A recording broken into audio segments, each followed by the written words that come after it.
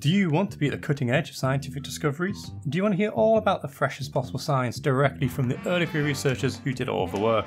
Well, Preprints in Motion helps you scratch that itch. Join us every first and third Wednesday as we chat with early career researchers behind some of the most exciting new preprints to get their own commentary.